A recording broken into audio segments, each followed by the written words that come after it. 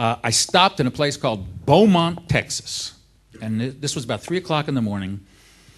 And um, there was a gas station lit up. I had, needed to get gas, so I stopped and uh, I got out of the car and I um, went over to the to the pump, and I, they didn't have the credit cards in those days, so I went uh, I went to the little little house there, and this guy this guy came out wearing a little blue hat.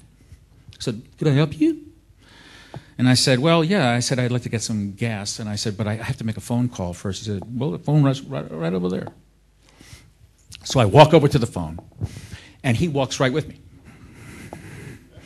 And he's standing right next to me as I'm talking to the uh, producer at the Alley Theater, and I'm saying, "Well, I'm I'm stuck in Beaumont, Texas." I said my car ran off the road because I ran over a lot of frogs, and um, uh, you know I'll be there tomorrow. And so, guy, so I hung up the phone, and the guy said, "Wait a minute, wait a minute. What, what are you?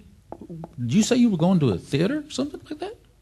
I said, "Yeah, I'm I'm working at the Alley Theater. I've got a job there. I'm resident actor." He said, "Wait a minute, you're an you're an actor?"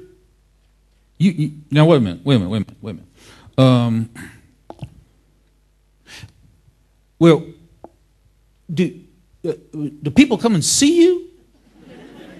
I said, yeah, yeah. They, you know, you, you you're on a stage, and you know, it's they put up a scenery, and you're directed, and it's a regular show. He said, no, wait a minute, wait a minute. Are you famous? And I said, no. And he said, well, if you're not famous, why would anybody pay to see you?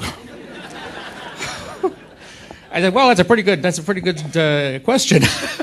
and he said, no, no, I'm only kidding. I know where the Alley Theater is. So anyway, that was Murdock.